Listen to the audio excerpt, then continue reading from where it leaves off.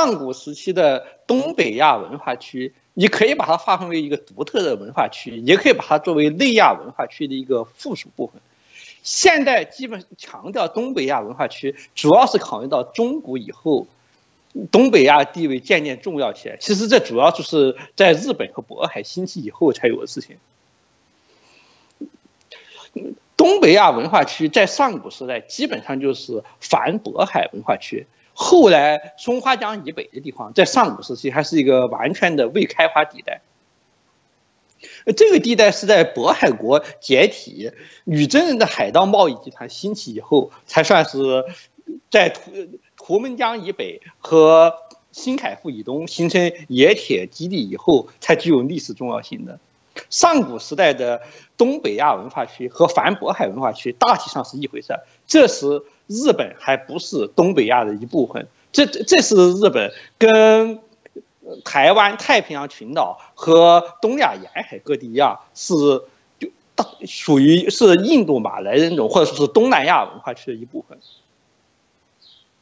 最早的东北亚文化区核心就在今天的辽西一带，它包括今天的满洲和燕齐和朝鲜半岛。呃，旧石器时代的新农娃文化时代。燕山山脉和滦河流域一带的赵宝沟文化，经常被划分为新农娃文化的一个分支。新石器时代的夏家店文化在满洲兴起以后，燕山山脉一带又经常被划成是夏家上宅文化及其继承者，经常又被划划分为夏家店文化的一个分支。但是细节上的差别还是存在的，例如。满洲的特点是彩绘比较发达，而燕山山脉的文化特点就是之字形图案和几何形图案、兽面纹比较发达。从建筑的结构上来看，它们大体上是一回事儿。他们在进入历史时期以后，就要跟南方的中国和西方的内亚开始走上不同的道路，主要是在殷商初期。这时，沿着太行山东路南下的殷商的先民已经开始大规模的使用人迹，但是拒马河以北基本上没有出现同样的现象。同时，燕山山脉和滦河流域一带的居民仍然部分的继承了在满洲和内亚非常流行的用石墙和石屋建作为自己的建筑材料和防御工事的习俗。同时，不知是出于什么原因，因为当时的话，应按说应该是，即使是在中国，也不像是空间匮乏的地方，他们的居民点面积普遍比中国的居民点面积要大得多。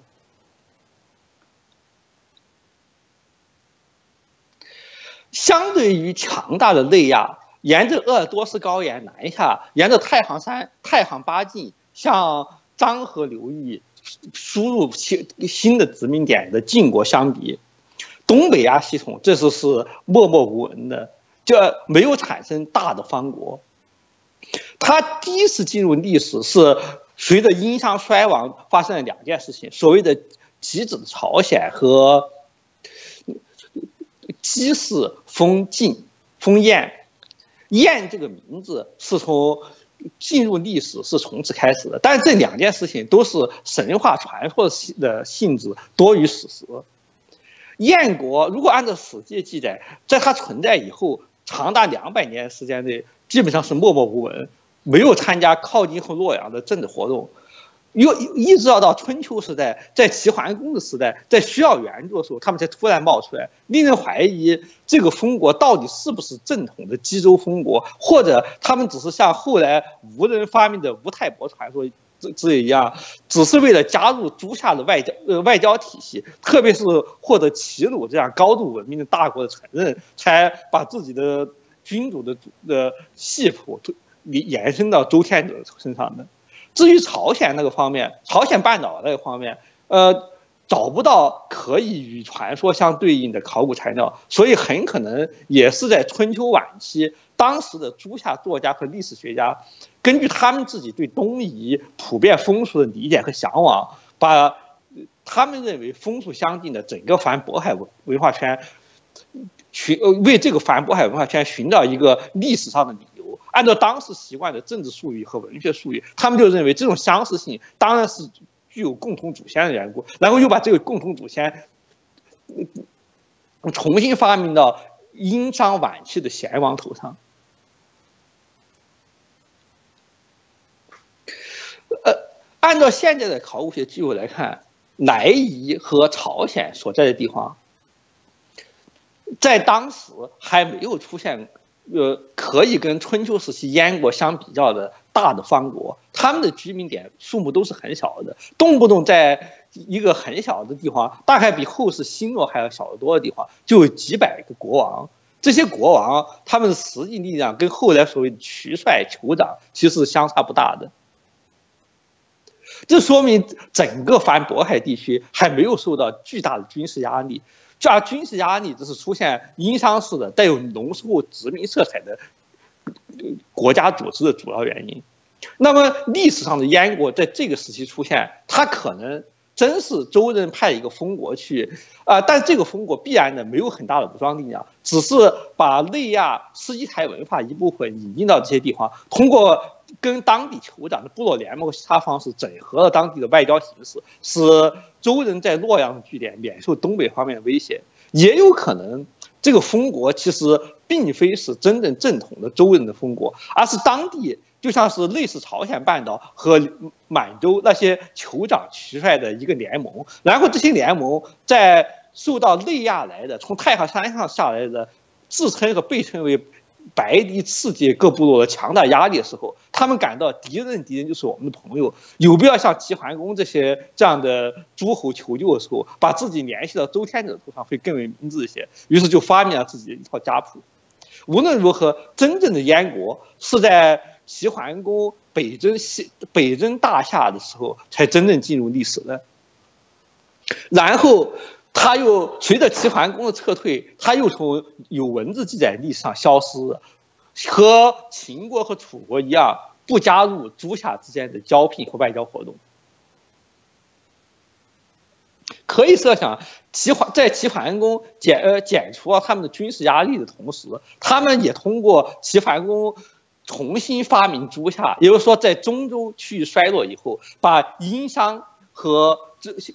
就机枪各两系的，呃，不同风国在外交上和文化上整合起来的历史发明推行的时候，给他们提供了相当多的秩序输入。尤其是齐人本身也是具有二元性的，具有齐来二元性，本身就继承了东来文化的一部分。对于燕人来说，他们和朝鲜人、满洲人一样，具有共同的，呃，反渤海线文化的呃亲和力，因此更容易接受输入。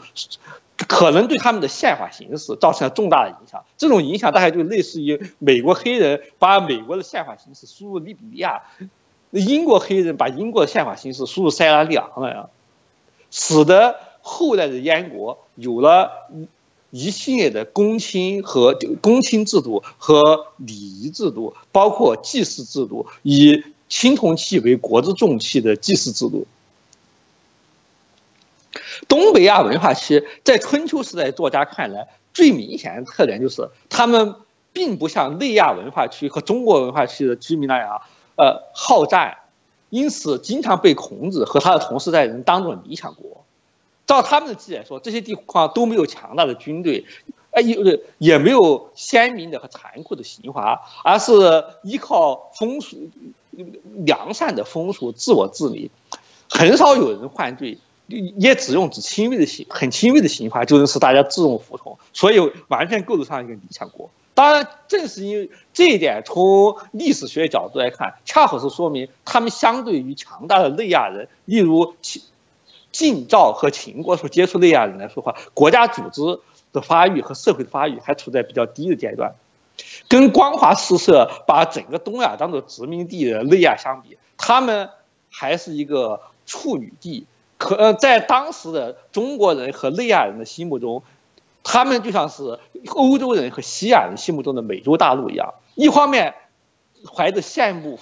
的感情，觉得这些地方简直是一个现成的桃花源；另一方面又怀着轻蔑的感觉，觉得这些地方的战斗力可能还不如保加利亚和罗马尼亚。幸好是没有跟欧洲和西亚相接触，要不然他们会很容易被征服的。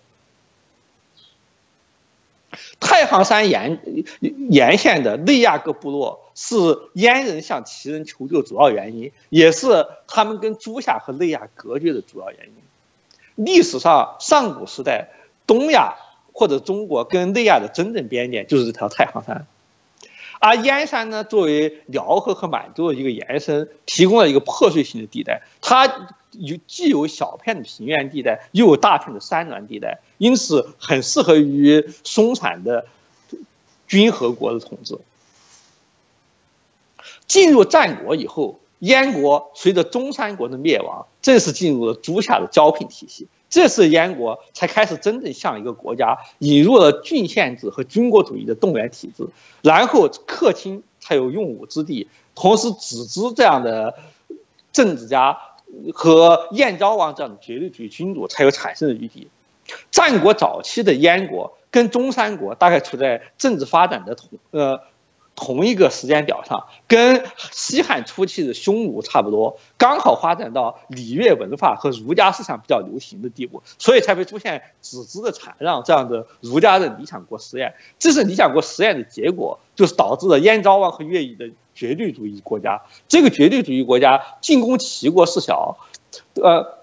开拓燕山背后的郡县是大。燕国的领土深入了满洲和辽东半岛。乐毅对齐国的进攻，很可能尽管被朱夏方面作家描绘成为一次单纯的复仇行动，呃，但实际上很可能是燕国人作为东北亚文化区的主力，感到一种责任感。觉得就就像是拿破仑提出莱茵河天然边界，拿破仑三一世提出莱茵河天然边界，拿破仑三世提出从莱茵河到复活节岛的拉丁事件一样，燕国人感觉到东北亚文化区相对于诸夏是也相对于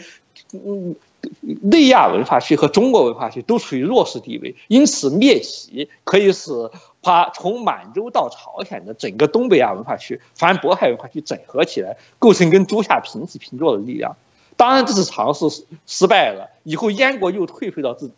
自己的孤立主义状态当中，一直到赵国灭亡，燕代年帝不情愿地面对着秦国的军事压力。秦人灭燕以后，燕人的流亡者在魏满的领导之下迁到朝鲜半岛。这这一次故事跟殷商灭亡的故事非常相似，相似的就像是传说中夏桀的暴行和商纣王的暴行非常相似，因此很有可能。朝鲜半岛的传说有很多是西汉儒家在发明房地传说时候才发明的，很，呃，很有可能夏，呃，一般都认为夏朝是虚构的朝代，夏朝的暴政是根据殷商商纣王真实的暴政为蓝本重新创作出来的。那么。最早的朝鲜，齐子朝鲜的传说也很可能是根据魏氏朝鲜、魏满燕人魏满真正东迁到朝鲜的真实故事再创作产生的，因为他们的基本结构是非常相似的。因此，魏满时代的朝鲜实际上在某种意义上讲，可以说被看成是燕国的一个海外分支，或者说是一个翻版。秦人和对燕的征服。使过去在方国时代、城邦时代和联盟和军和国联盟时代分化不明显的低地平原地带和滦河流域的燕国，以及山峦地带燕国的分的是高地和低地的差异，正式凸显了。正如秦国对赵国的征服，使得郡县的居民和黄河以北、河套以北的匈奴人的差别变得明显起来。在李牧以前的时代，他们基本上是同一拨人。然后征服以后，愿意接受郡县制居民和留恋传统的部落和封建制度的居民，从此以后就一分为二了。汉帝国的重建的燕国维持不久，因为封国制的矛盾和郡县制的矛盾是始终存在的。汉人最最终不不能容忍在东北亚方面仍然存着一个哪怕是傀儡性质的燕国。他们在燕国后故地设立了渔阳右北平诸郡，也就把燕国分成了高地和低地两部分。随着这些东北诸郡的设置，东北边境线线上的乌乌桓、鲜卑各部落也就出现了。可以想象，这些部落他们跟低地燕人的关系，也就是匈奴部落跟低地赵人、晋人的关系一样的。他们在帝国征服以前是同一拨人，在帝国征服以后，不愿屈服的山地人和愿意屈服的平原人，尽管血统上基本相似，就走上了同样的道路。就是今天低地的湘人和高地的苗人，今天低地的台湾平埔人和高地的山深番之间的关系。自然而然的，郡县制能够统治的就是比较软弱的居民，他们如果强大的话，就不会接受郡县制。而强大的居民呢，既然看到他们邻居的软弱，自然而然要把后者作为掠夺的对象。因此，从此以后，横贯整个上古和中古，高地山民，也就是鲜卑、乌痕、乌丸之类的胡人，以及后来的西人、契丹人。和郡县居民之间的矛盾就变得不可调和了。秦汉帝国推行军事军国主义和边户齐民的高峰期并不长久，这种统治就相当于是古代实现的布尔什维主义。斯大林时代能够维持时间是很长，是很短的。你这这种机政治机器给人留下了可怕的，给当时后世人留下了可怕的高效和残忍的印象。是因为他在摧摧毁原有的地方共同体的时候表现了巨大的威力，但是，一旦摧毁这些共同体，留下了真空以后，他用来填补这些真空的官僚制度又是惊人的不能的，而沿着这些官僚制度，又会迅速的重新生长起来新的离心力量，这就是东汉的门第世家的兴起。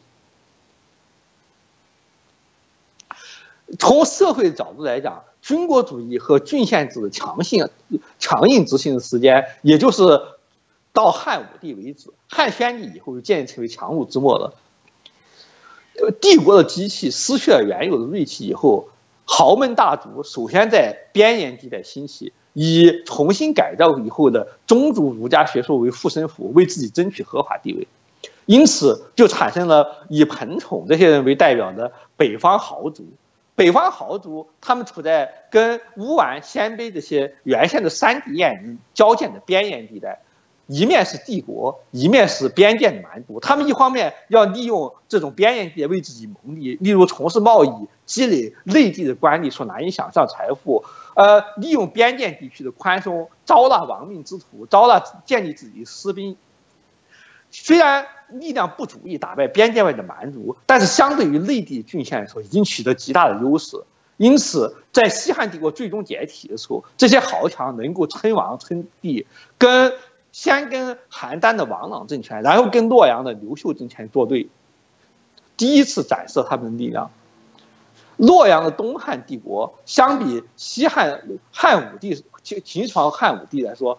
是极大的弱化了，正如勃列日涅夫的苏联完全不能跟列宁和斯大林的苏联相比一样，他在很多方面都必须跟南阳、汝南的世家大族做出妥协，因此在遥远的边疆地带就更没有办法充分的贯彻自己的意志。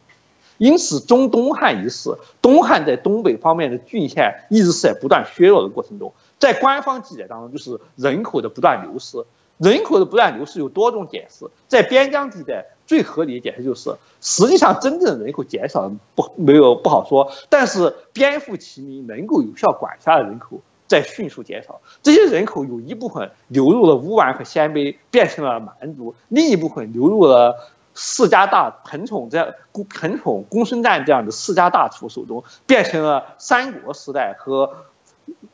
魏晋南北朝时代的部曲或者是私兵。两者都导致帝国官僚制度和郡县边户殖民体系的迅速衰落，最终在董卓之乱之后，儒家的大臣刘宇无法控制局势，而被公孙瓒这样的豪强篡夺政权。公孙瓒的胜利就相当于他在彭宠失败的地方，呃，重新获得胜利。彭宠和诸侯的斗争以刘呃以公孙瓒和刘宇的斗争的形式。重新体现出来，只不过结局相反，说明在东汉早期豪强的势力还比较弱，在东汉晚期豪强势力就已经非常强大了。但是，即使公孙瓒这样的豪强在进攻乌丸和鲜卑的时候，始终是失败的。乌丸和鲜卑像后来契丹人一样，接纳了大批流亡的平地的人口，变得更加强大了。最后，曹公看到乌丸骑兵的善战，把他们收收编收编了一部分，用它作为对付吴蜀的武器，结果使乌丸的居住区进一步扩大了。乌丸其实就是山地的阉人，包正如哥萨克人，包括了大量逃亡的俄罗斯农奴一样，你逃到哥萨克手里面，就不再是农奴了，变成武装的自由人了。因此，沙皇俄国没有办法对这些哥萨克的团队实施有实施统治，却能够对乌克兰人物实施统治，就只能顺水推舟，承认哥萨克人选举自己的军事首领，在象征性的效忠于俄国沙皇的同时，允许他们有大量的自治权。朝贡对于乌丸和鲜卑政策也是这样的。如果你是一个幽州人，是幽州监察区居民，逃入乌丸和鲜卑以后，你实际上就获得了自治权，可以变成。照当地的酋长制度，你就可以一个小酋长的身份加入他们的部落联盟，或者假如你是一群商人的话，那么你就可以建立，就，就也这在自己的头人率领下建立一个自治市镇的。而朝贡把你们迁出到迁移到内地，就必须给你们以不同于边户齐民的特殊待遇，也就是后来古福保啊之类。体结构所体现的治外法权体系，也就是说，让胡人以属国的方式，按照自己的传统习俗自治。这样一来，从当时的政治角度来看，政治局势角度来看，朝贡好像比汉献帝、刘宇甚至是光武都更强大，因为他能够有效的大量用用。运用阉人的武器为自己服务，但是从长远看，从角度和社会的角度来看，实际上朝公的做法是为后来所谓的五胡乱华做准备。他给予了包括阉人、晋人在内的各种胡人更大的自治自治权，并且为了利用他们的政治和军事力量，把他们的殖民区扩大到了更广泛的内地。而他的继承人一旦不像曹公本人这样雄才大略、自然而然的。就会出现太阿倒刺局面，没有办法约束这些伏击。随着司马氏取代曹魏，这种局面果然就发生出现了。张伐跟刘宇相比，是一个呃更彻底的表演艺术家。刘宇至少像东汉儒家那样，虽然没有什么战斗力，但是还企图用恩德随服燕地的。彪彪悍的豪强和胡人，而张华呢，他根本放弃了这种企图。作为一个优秀的诗人和艺术家，他的做法就是把当地的各部属给他进贡的各种奇珍异宝编送往洛阳，同时给自己编造一些很美丽的故事，说当地部落是对他们是多么多么的拥护。实际上，就完全放弃了对幽州的统治。所以他一走，他的继承人新的拥。依靠雍州豪强建立的王氏家族，在跟刘坤、石勒这些人作战的时候，就发现他们唯一可以依赖的就是鲜卑人的武力。当鲜卑人的武力在王氏家族的统治之下，向司马氏成都王统治邺城进军的时候，司马氏的军队在甚至还还没有就正式进入战场，就已经闻风而溃了。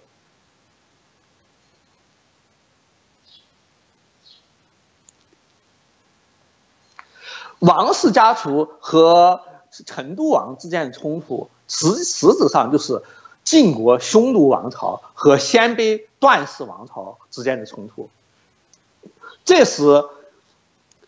中国皇帝的统治已经像是晚期罗马皇帝的统治一样，只留下一层薄薄的名分。无论是哪个皇帝，或者是哪个亲王、哪个刺首，他们都是他们自己手下的蛮族军团手面的傀儡。蛮族军团像在斯蒂伊格和阿拉里克那个时代，还要扶持一个傀儡皇的罗马皇帝，然后等到下一代罗慕路氏时代，就干脆一脚踢开这些皇帝，自己称王了。燕国和晋国情况都是这样的，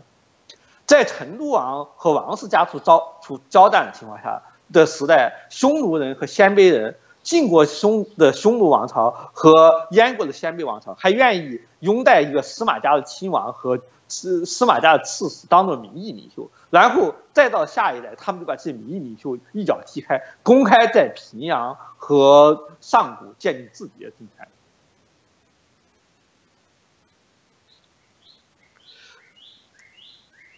但是这时这，呃。永嘉之乱解放了内亚和东北亚，但是也将内亚和东北亚从上古时代送进了中古时代。对于燕国来说，中古时代和上古时代主要区别就是，上古时代燕国是反渤海文化圈的真正中心，只有齐国才能跟他竞争。但是进入中古时代以后，开发比较晚，但是空间更加广阔、资源更加丰富的满洲开始后来居上，逐渐的凌驾于燕人之上，主要就体现为慕容氏王朝对段氏王朝的征服和胜利。这是征服和胜利预示中古以后满洲渐渐在东北亚取得统治地位，最后等到渤海王朝时代以后，满洲就变成了东北亚的化身，而燕齐反而变得非常不重要了。尽管在整个上古和中古时代，双方的人口交流都是非常密切的，有些人认为说是满洲国建立以后，从胶东半岛引进那些移民是老岛子，不是真正的满洲人，但是实际上。中古时代的满洲人，也就是构成女真和渤海这些基本居民，也有很多就是从上古和中古时代的胶东半岛和燕山山脉，从两个平路节度使那那移居过去的。呃，东北亚文化区被中华帝国割裂成为关外山海关外的满洲和山海关内的燕齐。这还是非常晚近近世以来的事情，并不符合上古和中古时期的历史规律和人口结构。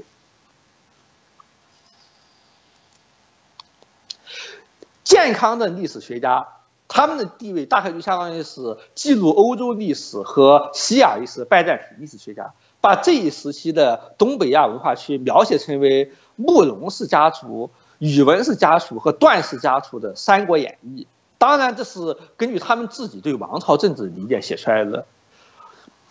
他们泛泛的把这三国都称为是鲜卑人，但是这个说法并没有什么意义。首先，鲜卑本身就是一个种族文化的巨大混合体。健康的大臣和皇帝经常把房头话称为鲜卑人，可以看出，鲜卑人当中是包括有白种人的。但是墓葬奴那。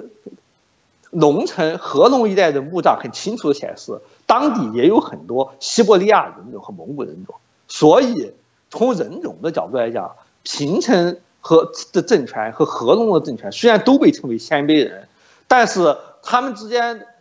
并不是完全相同的部落联盟。这你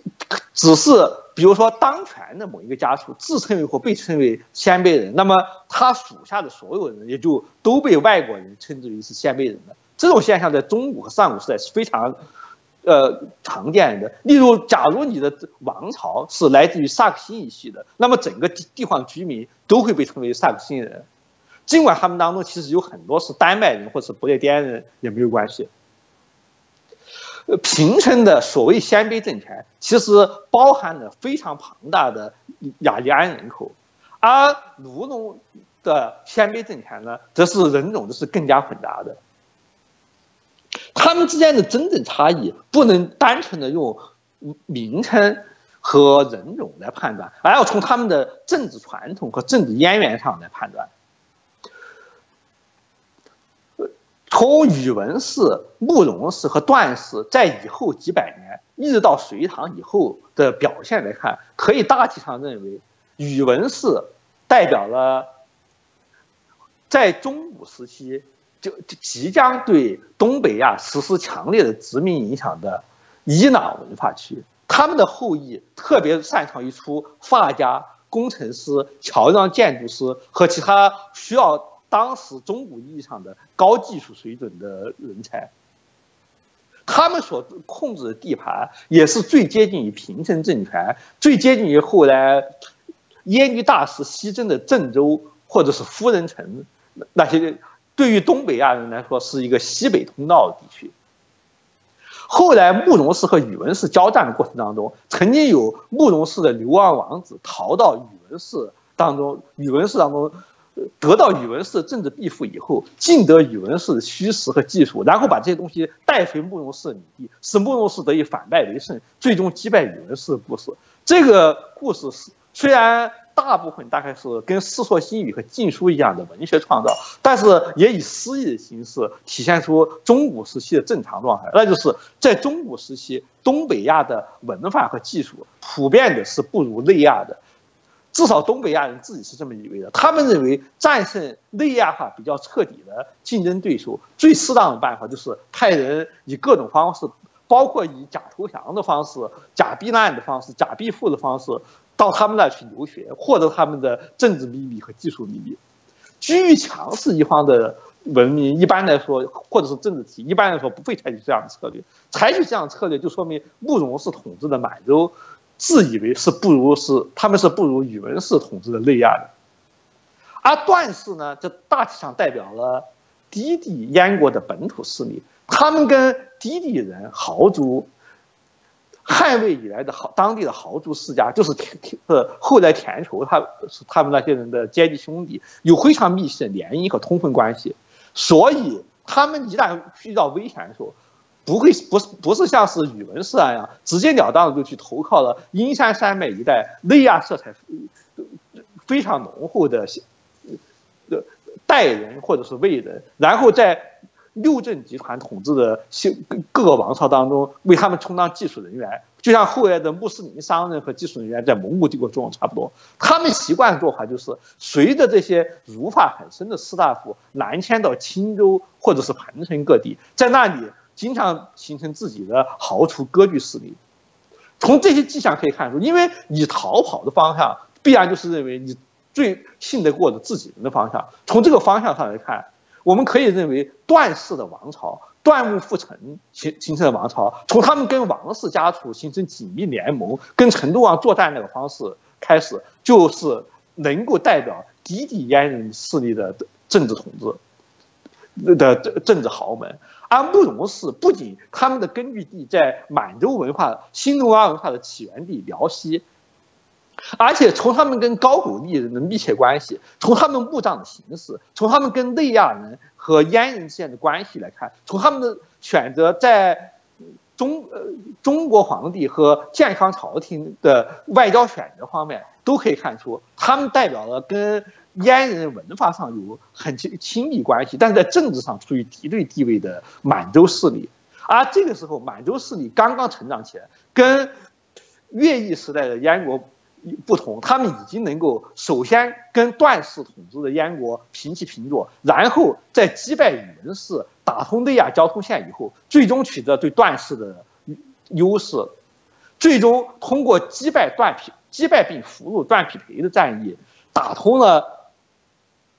南下的道路，最终建立起来了金庸在《天龙八部》中描绘的那个慕容氏王朝。慕容复后来念念不忘，小说中的慕容复后来念念不忘，想要复辟那个慕容氏王朝，就是满洲人长驱入关，摧毁燕国段氏家族的结果。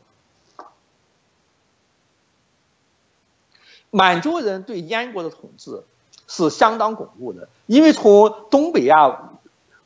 上古时和中古时期东北亚文化共同体角度来看，燕、齐、满洲和朝鲜其实都是一体。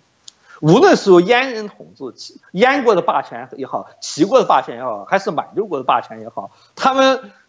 内部人统一在一起，都比接受晋国匈奴王朝的统治，或者是洛阳王朝、长安王朝的统治要顺理成章的多。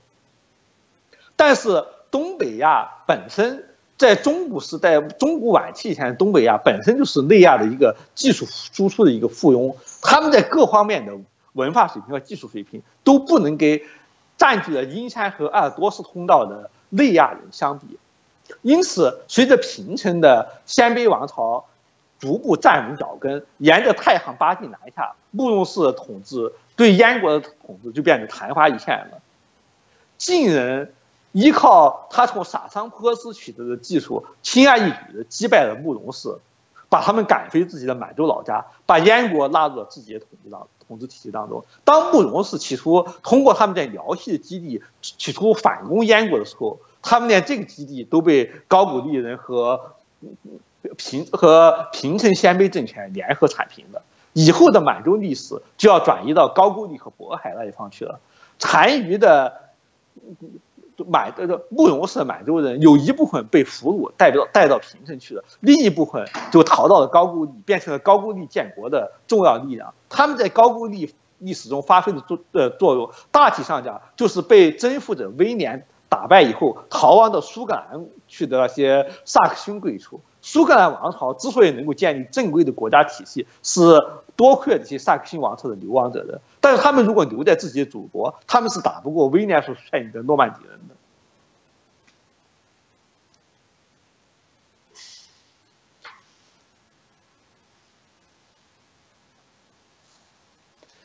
北魏统治燕国的初期，还实行豪出取帅、享有巨大自治权的都督制。随着都督制具有军事保护色彩的都督制向郡县制转化，这就是我在以前晋国讲座中提到的文明太后和魏孝文帝的改革。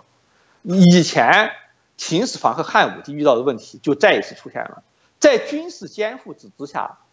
它能够容纳多种不同的统治形式。无论你是山地的酋长、草原上的骑呃骑呃游牧部落，还是低地的豪门大族。只要在军事上和外交上接受朝廷派的都督的保护，那么你内部的统治形式是不成问题的。一旦改行郡县，那么赋征税的必要性就要迫使你们做出选择：你们是一步一步的向边户齐民的方向选择了，还是拒绝接受边户齐民，因此无法纳入这个体系，最终被朝廷视为法外之民了？然后，同样的分化在北魏王朝的统治时期又再次出现了。中世、中古时期，燕国的山地居民，就是后来折磨武则天和狄仁杰的西人和契丹人，在北魏时期开始产生。这当然不是偶然的。北魏时期是东亚再度边户齐民化的时期，也自然而然的，像是你照镜子的时候就会看到自己影子一样，把拒绝接受或者是无法通过边户齐民管制居民，变成了由模模糊糊的蛮族，变成了。肆无忌惮的蛮族和反贼，因此在这一时期，在低地燕国再次实现边户齐民的时期，高地燕国重新变成了满了自由人或者是哥萨克人的天下。这些哥萨克的名字是波兰人和俄国人叫出来的，他们自己是把他们自己叫做自由人的，跟那些波兰人和俄罗斯贵族保护和管制下的驯服的农奴形成对比。这些人契丹人和七人的名字。也是魏人、齐人和唐、隋人和唐人叫出来的，并不是他们自己起的名字。他们并没有中央集权的管制形式，各部落的酋长和大人行使高度自治权。但是在他们的自由面对威胁的情况下，帝国军队从山下低地发动进攻的时候，他们也会像瑞士、苏州的民兵一样。尽管平时互不同属，甚至相互残杀，在战争时期就会团结起来，联合打击这些帝国力量，表现出他们为数不多的人口和不大的领地完全不相称的巨大战斗力。无论是儒家化和吏治化的北魏帝国，还是继承他的北齐、北周和隋唐帝国，都拿这些人没有办法。事实上，这些帝国本身是内亚鲜卑人的晋国的这征征服中国的产。呃，产物，而这些晋国鲜卑王朝在征服中国以后，一点一点的儒家化和郡县化，同时也一点一点失去了原有的伊朗文化滋润以后，郡县制越发达，他们在东北边疆的战斗力就越差，因此出现了非常矛盾的现象。看上去比较简陋的北魏，维持幽州边境的努力，绥靖幽州边境努力还比较成功。被儒家历史学家和后来中国民族发明家歌颂为盛世的隋唐，在东北边境的战绩却是一塌糊涂。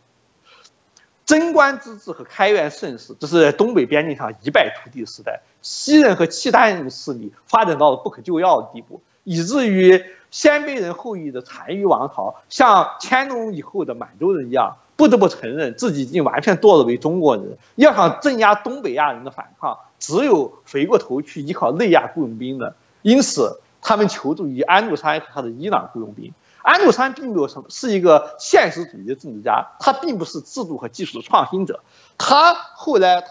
被宋人和新儒家骂成是毁灭鲜卑帝国罪魁祸首的幕府制度，实际上是在中亚。各河中地区各王朝已经实施了上百年的军的军事兄弟会制度，他只是把这种制度拿到东亚来复制一下。同时，他在卢龙节度使任内的建树，主要是借助借助了阿拉伯人大规模入侵河中地带东风。这这次入侵使原先在沙马罕、布卡拉这些商业城邦居于统治地位的河中人，也就是外伊朗人，感到他们在内亚在内亚老家的位的日子，还不如在东亚殖民地的日子过得舒服。然后他们大批的集结在安禄山麾下。后来安禄山重建的燕国，可以说是河中伊朗人在自己的老家被阿拉伯人攻陷以后，企图在东北亚复国的一次尝试。他们主要是一一个伊朗人的王朝，因此在本地得到的评价和在唐帝国得到的评价是截然相反的。唐人和宋人尽管一贯的。污蔑安禄山和史思明是乱臣贼子，但是他们也不得不承认，和硕人对安禄山和史思明是非常崇拜的，甚至在安史早已去世几是几是一百多年以后，还在当地为他们立誓、那立庙纪念，号称四圣祠。也就是说，在他们心目中，安禄山简直是他们的民族英雄。这些历史学家记载，和硕人反抗安史的。势力实际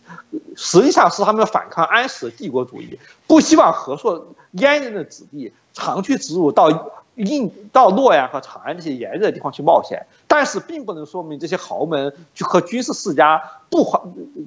支持他们，不支持他们搞独立。实际上，这些人的做法是很清楚的。在以后和硕三镇和长安朝廷的长期博弈中，就可以看出他们的做法是很清楚的。他们希望卢龙节度使。在礼仪上臣服于长安朝廷，但是不准长安朝廷管他们事情。如果长安朝廷管他们事情，他们就要发动叛变，把清长安的节度使流放或者杀掉。反过来，如果他们的节度使反唐反得太厉害，不仅驱逐了唐军，而且要长期植入打到长安和洛阳去，他们也会反对，因为这样不符合他们本地本国的利益。河中人的流亡政权在这一时期逐步演。化为阿尔及亚式的军呃军事民主制政权，变成一个类似于晚期罗马军团和法国外籍军团那样的以中亚，呃武士为主的军事共和政权。以后这种倾向变得日益明显，因为他们已经不像在安禄山和史思明时代那样，认为自己还有希望复活古典时代外伊朗的帝国统治，而是已经安于他们自己的政权，就是各路武士拥有。用自己的战刀投投票的各路武士，对没有这军事动员能力的其他人实施专制，这样一个海呃海盗陆上海盗政权的自我定位了。这样他们就必须非常珍惜自己的资源，不再有重建帝国、把内亚房地式的伊朗文化普及到东亚的这个历史使命了。因此，他们的野心也就变得非常有节制。不再重企图重现撒桑波斯时代或者沙曼罕布哈拉时代、沙曼时代和安禄山时代的辉煌了。安禄山这个人，在燕人后来为他编的神话传奇当中，是完全习用了中亚拜火教徒的神话，是光明神降世，降入他们的光明神投胎，投胎到他的母亲怀抱中，所以一出生就注定是胸有大志，是要复兴拜火教文化和伊朗文化一位大英雄。是作为帝国创始创建者的模板来设计的，而后来继承他的各路节度使就安比较安分守己，你愿意当一个小小的军事共和国的领袖，不再在燕人的天然边界之内谋求发展了。军事民主制天然是一种极不稳定的政治形式，它第一。它像阿尔及尔海盗国和罗马军团那样，它的主要的选民或者投票人是来自境外的，从内亚或者是东北亚输入的各种武士。这些武士凭他们的战斗技能发发家致富，取得统治资格。在加入军事兄弟会以后，跟其他的军事兄弟会的其他成员之间没有血缘的文化上的天然联系，只有一个共同的事业和愿景。因此他必然会成为一个以政绩为合法性唯一基础的政权，像马姆鲁克政权、罗马军团政权和阿尔及尔海盗王国一样。你只有能打胜仗的将军才能坐得稳他们节度使，打了败仗的将军，或者是做做了不讨人喜欢事情的将军，必然会被手下的小将们从节度使的位置上掀下来。因此，相对于其他各镇，卢龙节度使的限制一直是格外不稳定的。每一次新的选举都有可能发引起政变或者是内战，尽管他们。引进武士的能力非常之强，以至于能够打败没落时期的回鹘人和吉尔吉斯人，创造了作为一个小邦创造了军事史上的奇迹。但是政治传统的不稳定也使得他在和硕三年当中变成了第一个覆灭的集团。军事共和制使得燕人本土的豪族世家得不到发挥，他们在在。以伊朗人为主的军事兄弟会的统治下，像是阿尔及亚摄政国的阿拉伯人一样，完全得不到那些以意大利人和希腊人为主的军事冒险家统治集团的重视，实际上处在二等公民的地位上。因此，从他们的角度来看，由安禄山开创，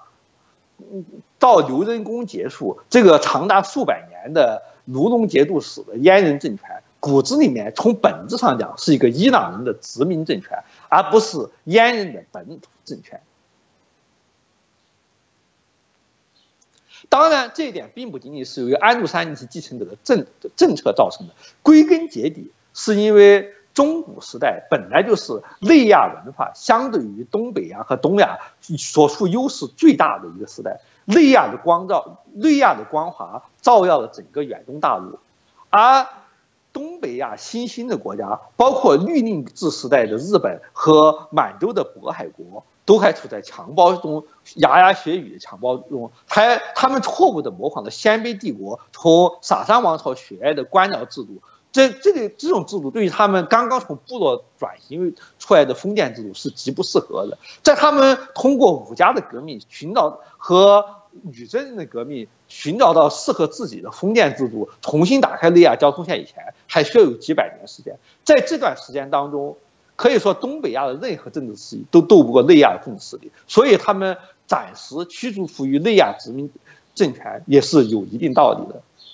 在这种情况下，燕人既然在自己本土上是在安禄山地继承政权、卢龙节度使政权的本土上是二等公民，那么他们就只有两种选择：第一，就像他们在北魏、隋唐时期的祖先一样，如果他们有武德和尚武精神，他们必然要出关进山投奔投奔山里面的七人和契丹人，这些人是他们上古时代燕人同胞的近亲。在这些人身的身上，他们可以找到他们自己的祖先，他们自己比较晚近的祖先，由于接受郡县者失去的传统自由。第二，他们可以暂时满足于这军事兄弟会统治下的豪强的自由。这种自由像李德宇的祖先所描写的所处的地位一样，他们至少。不受科举文化的浸染，尽管在政治上处于二流的地位，但是还是可以放鹰走马，处理乡里的事务，对地方官采取不闻不不问的态度，比后来的宋型国家那些范进式的科，呃科举科举产生的士大夫阶级拥有的自由还是要大得多了。在这种情况下，军随着军事兄弟，随着李克用政的晋国政权的强大。晋国政权以沙陀人和雅利安人为基础，晋国政权建立了比军事兄弟会更加稳定的传承形式以后，燕晋之间的博弈又一次向不利于燕国的方向发展过去。中古时代的燕国即将会被晋式的契丹国、七古七契丹联合王国所取代，从而再次开辟满洲人对燕国。满洲人入关，重新建立新燕国的道路。呃，鉴于时间的关系，中古以后的部分我们可以留到下一次再讲。今天讲的就到此为止。